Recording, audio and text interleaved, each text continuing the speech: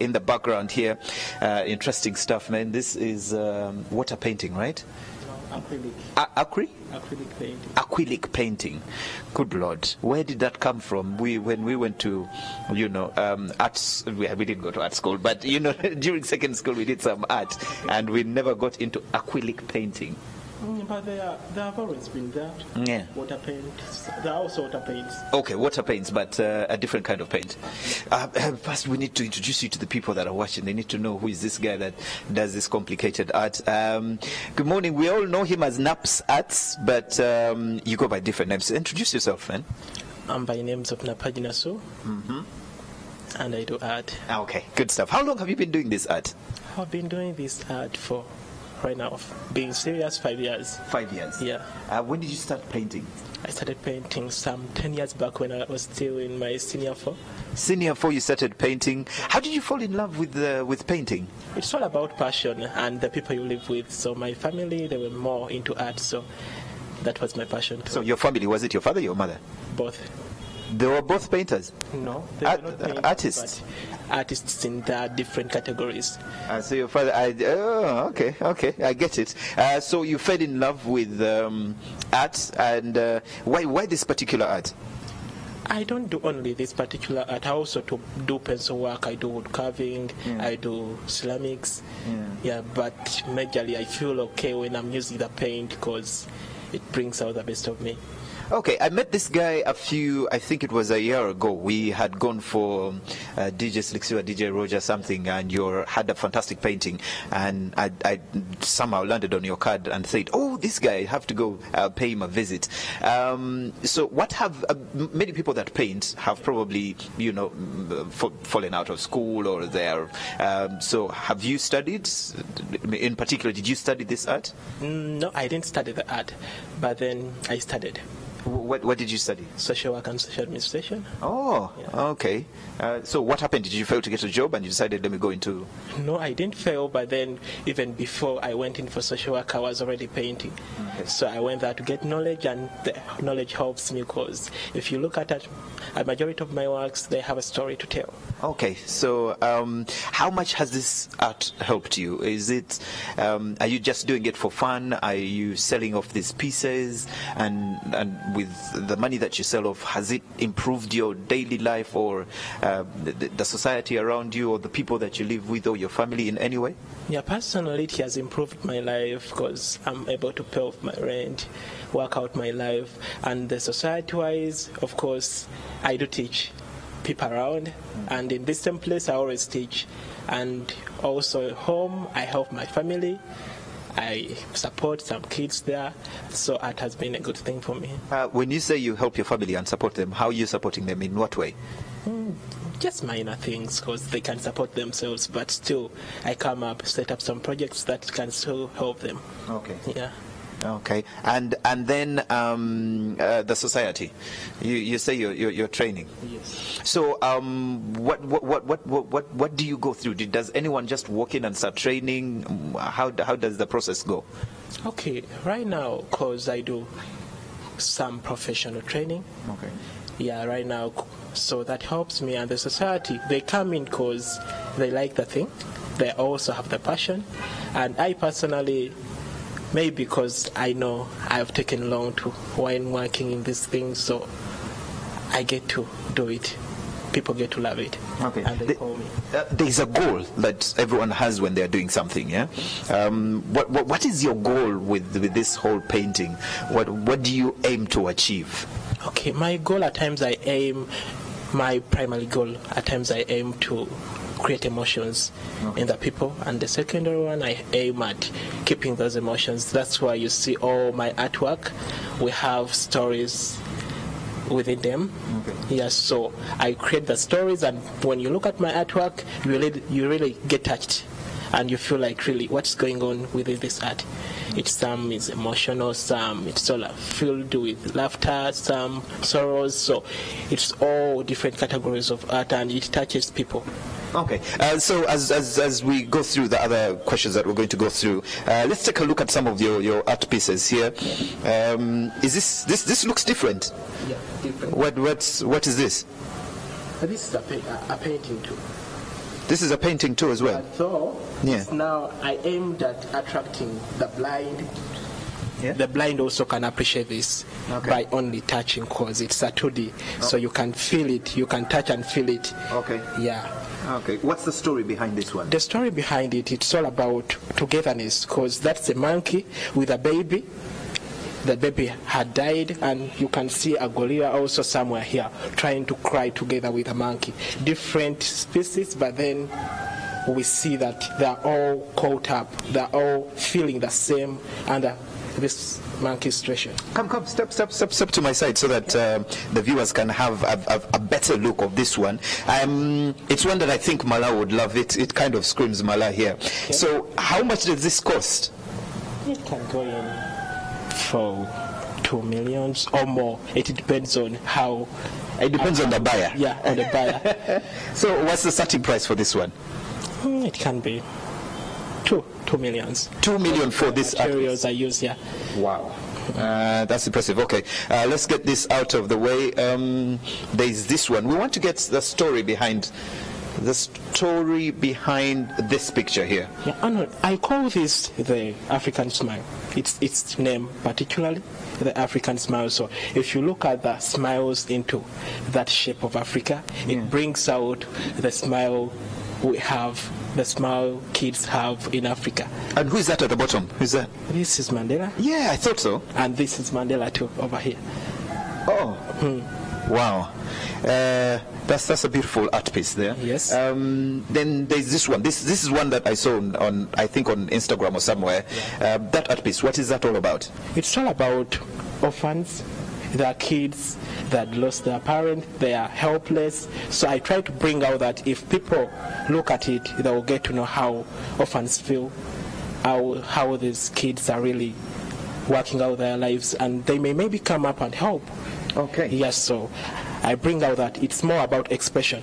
Okay, so this is um, a finished um, art piece here. So this is finished. Now, I want you guys to take a look at um, another one that he is working on, which is right there. Um, so you have to see the difference so you can see where it comes from. This is what he's working on now. Um, can you explain this one? Yeah, it's all about happiness. If you look at the kids, they're, they're all happy. Yeah. So it's all about happiness. However much the situation could be bad, but then the kids are too happy for life. You can see the smiles, the laughs. So I try to bring that out, bringing bringing out the passion. Okay. So this this is two different kind. This is two different situations here.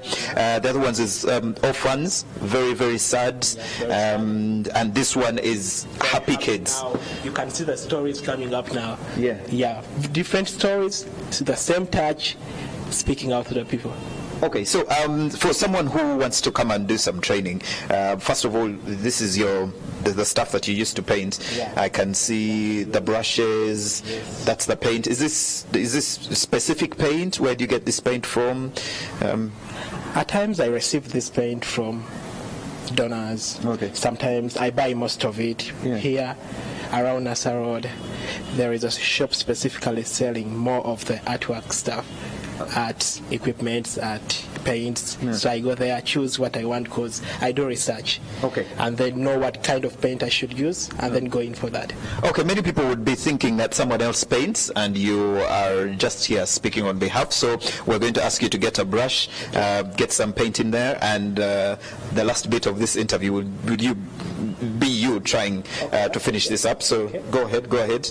Um, ladies and gentlemen, in case you have just joined us, uh, this is Reality on the Ground. Today we are visiting a very special, talented painter. We all know him as Naps, and um, this is this this this this art is called It's called expressionism. expressionism Expressing my own inner feeling through colors. or expressionism. Yeah. Okay. Expressionism. How long does this uh, piece of art take? It depends on how much time I give it, but then it takes some good time because you need to give it the feeling. Okay. Yeah, at times you have to work when you have that feeling of colors, the feeling of love. Yeah. Okay, so um, in particular, this this this the the, the painting, uh, the one that we saw before of the orphans. How long did it take you? It took me some some weeks. Weeks. Yeah. Okay. Mm, some weeks, but not complete weeks. I work on my own pace. Okay. Yeah. But if I was a client and I came in and I said I wanted this piece, how long do you think it will take you to finish it? a week. A week. Yeah. Okay. Okay. On my own pace still. Oh. Yeah. Okay. Okay, go on. Uh, do your painting as um, uh, we watch so that. Uh, okay. So if this painting is to be done, it will take you. It will take him a week, which is very, very, very interesting. How much does it how, does it cost for someone to come for training? If it's here, it's free of charge. Oh, uh, free of charge if I come to your show. Yeah. It's free of charge if you come here every Sunday. I'm always here every Sunday trying to teach from two to five. Already? How long would do you think it will take me to master this art? It depends on your passion sometimes because you may come here without passion and spend years, and you may come here with passion and take weeks to learn this. So this Sunday, uh, what time? From two to five. Two to five. Yeah. Free. Free of charge. Already? Mm, and those who would like to learn other forms because I teach different forms of art in different organizations. You man, aren't you just saying these things for TV? Are you sure you're going to teach me for free? Of course, yeah. If you come here on Sunday, it's for free. Okay. Sunday, guys, if you are watching on Sunday, come to Tirupati Mall that is in. Um, sorry? I'm Future Rehearsal Studio. Okay. Uh, future re- at Future uh, Rehearsal Studio. Uh, that is at Tirupati Mall in. Uh, that is the road that comes from Nsambya, right after the American Embassy. Keep looking on your left.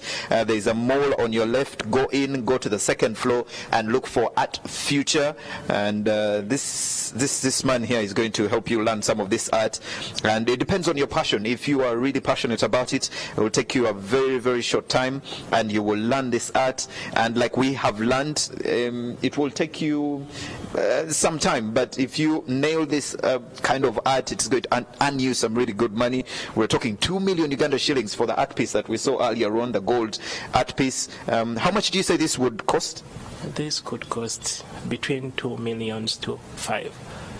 Two million to five million Uganda shillings for this piece of art. You are joking. No, I can't times people need to appreciate this. For people who know the nature of art and the touch and the feel, they can go in for that. How much? What is the cheapest? It depends on the nature because I do different sorts. There is that of pencil, different works, so it depends on the size of Wow. Okay, the size and the type of art. Wow.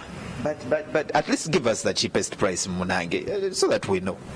The cheapest I can it can be uh, between 150 onwards. Okay. So the cheapest is 150,000 Uganda shillings. Um, the most expensive we can't tell because it depends how big you want your art piece. If you want a really big art piece like this one, it will cost you um, about uh, 2 million Uganda shillings and above.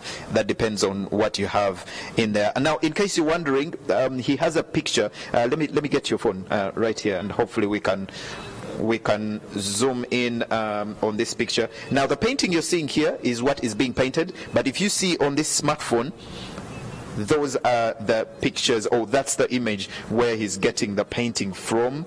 Uh, impressive stuff, I have to say. Impressive stuff. Um, so, uh, for someone who is out there who would want to get in touch with you and uh, probably call you or invite you so that you can teach them at their place, how do they get in touch with you? Mm, They can either come here Yeah. or they can call me Give them your on 0704 76 99 70 76 99 70 or 0772 399 711.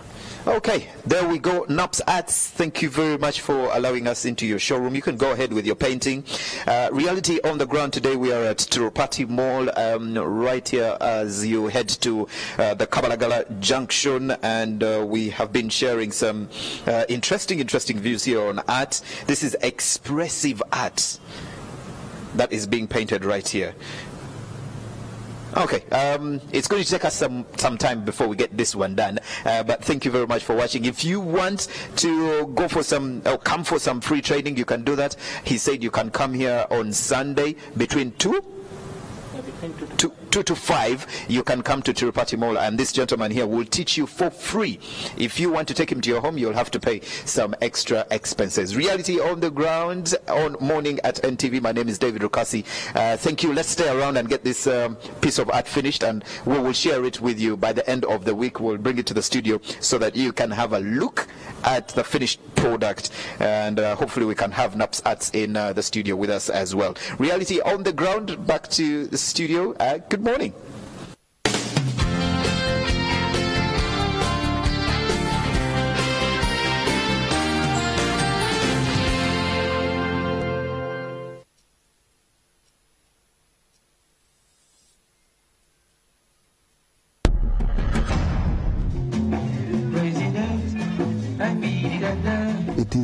My intention to be a president, but uh, it is the people who appointed me.